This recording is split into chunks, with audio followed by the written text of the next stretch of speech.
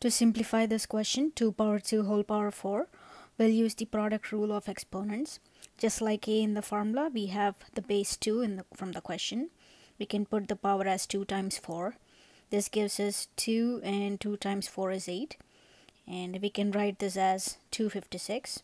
That's our answer.